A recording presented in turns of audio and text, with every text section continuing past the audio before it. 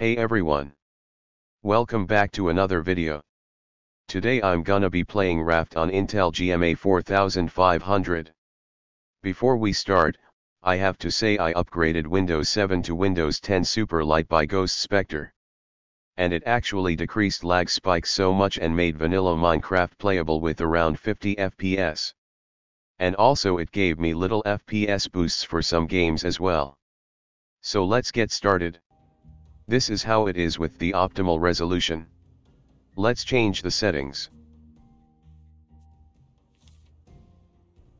I changed the graphic settings before I start recording.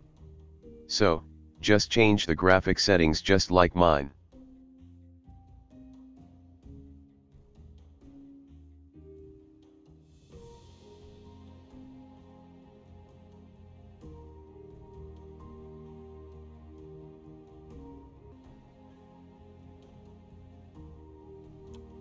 Now, the resolution. Change it to 480p as usual.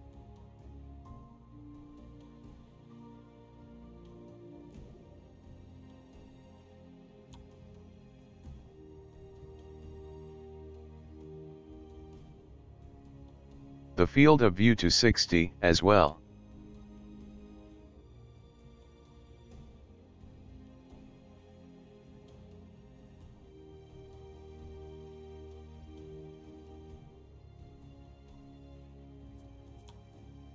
So let's give it a try.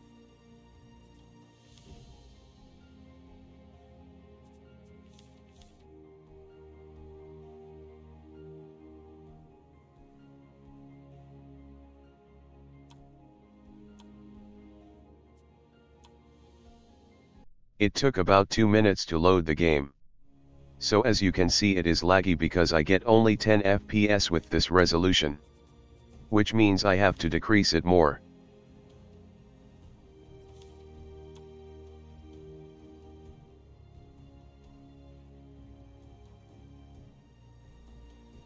This should be good. Yeah it's great. I get average 13 FPS just like Subnautica. Reading is kinda hard though. But not that hard.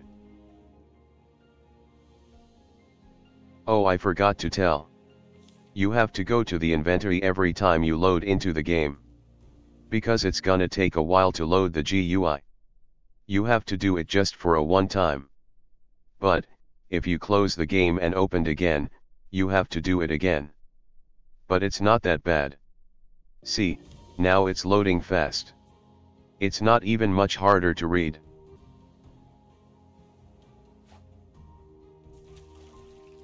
I think I should show you the lowest resolution.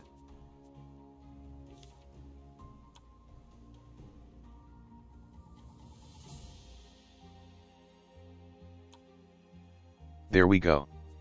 Now, I get average 23 FPS with it. Pretty cool.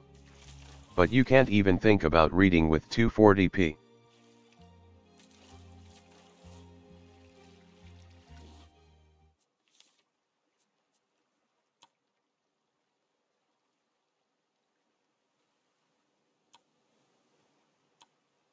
I'm gonna keep it on 300p. Let's hope it's not that bad.